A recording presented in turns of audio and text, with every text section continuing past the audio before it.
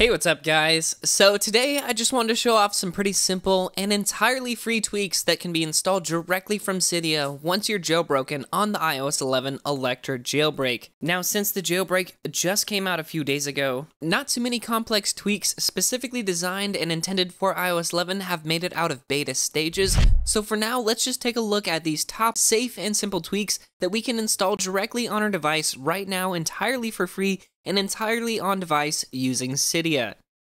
So when installing tweaks and adjusting their settings, a great resource to have handy is a quick way to respring your device. For that, I have two options, and I can't decide which one I like better. One is called Traverse, which lets you set custom 3D touch toggles on the settings app, and it was pretty easy to set up one to respring my device. Secondly, a more plug and play option is called Pull to Respring. This one requires you to enter the settings app, but once inside, all you have to do is pull down from the top of the page to respring. Now, both options are pretty nice to have, and pull to respring is almost quicker for me as typically when I'm modifying tweak settings, I'm in the settings app already. So now when my device is booted back up, I'm going to head to my home screen. Here I have Iconoclasm to give me this custom icon layout, and secondly, to achieve these cool page-to-page -page animations, I installed the tweak called Cylinder. Next up, as you may have noticed, my settings app is spinning, and to get that, I installed a tweak called Fingal, which brings some animation to your iOS app icons. Also, at the very bottom, my page indicators have been removed by NoPageDots7. Next up, to get these awesome folders, I'm using the tweak called Nougat Folder. Lastly, I wanted to show you guys this tweak called Weatherlock. Now this works on the cover sheet as well as on the home screen, but if I just head to the cover sheet right now that I have it enabled on, as you guys can see, it places your current weather conditions as the backdrop of your cover sheet. So heading into my Messages app, an awesome free tweak that gives the Messages app a darker theme is called Dark Messages.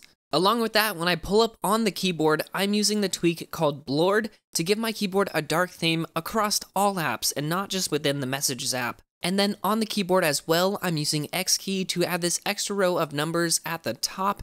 And on the bottom, I'm using Barmoji from CP Digital Darkroom's beta repository to achieve these emoji icons here. Now for the rest of this video, let's take a look at some iPhone 10 specific tweaks. So first up, Music Bar adds some pretty sweet music controls below your dock.